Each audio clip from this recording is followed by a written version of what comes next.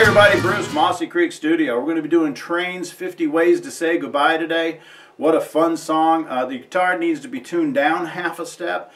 But use this song as a tutorial, use a song as a sing-along, use a song as a uh, karaoke, whatever you like. It's a fun song. Learn it and enjoy it.